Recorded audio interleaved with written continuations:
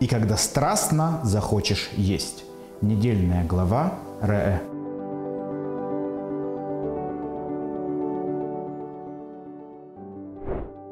У Рэба Цемахцедека была невестка. Ее звали Ривка. И вот однажды Ривка очень сильно заболела. Так сильно заболела, что даже врачи поднимали руки. И дошло до того, что врач, который ее лечил, он ее долго обследовав, пытаясь использовать любые новые, новые лекарства, которые только есть, и новые подходы, в какой-то момент и он отчаялся и поднял руки. Говорит, к сожалению, Ривка больше не жилец. Ничего ей уже не поможет. Рэба Цемахцеды, когда услышал эти слова, он схватился за голову. Он начал кричать на этого врача. Он говорит, кто тебе дал разрешение выносить вердикты? В Торе написано «Верапо и рапе».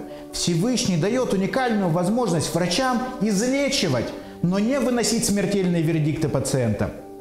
На что Рэба Цемахцедек прогнал этого врача и сказал «Я разберусь совсем сам».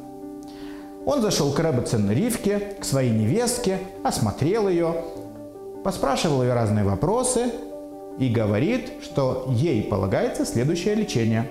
Каждое утро, как только она просыпается, она должна брать ломтик свежего хлеба, мазать его маслом и сразу же съедать, и только потом приступать к совершенно своим повседневным делам, как ни в чем не бывало. Ривка конечно же, внимательно выслушала то, что говорит Рэбе, то, что говорит ее тесть.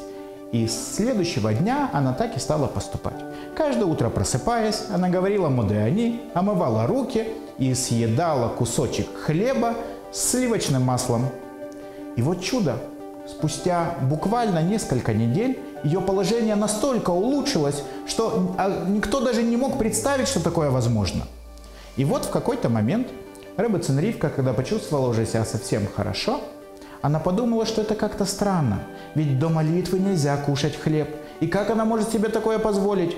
Поэтому она решила обратиться к Рэбе. Говорит, Рэбе Цемахцедек, ведь я же уже достаточно хорошо себя чувствую. И молюсь я быстро. Давай я лучше буду с утра пораньше вставать, быстренько молиться и потом кушать хлеб с маслом. На что Рэбе Цемахцедек сказал ей, нет, так не работает. Потому что на спешку молиться ради еды – это плохой вариант. Ведь лучше есть ради молитвы, чем молиться ради еды. Момент мудрости с Колель Тора. Присоединяйтесь к нам в Facebook, YouTube и не только –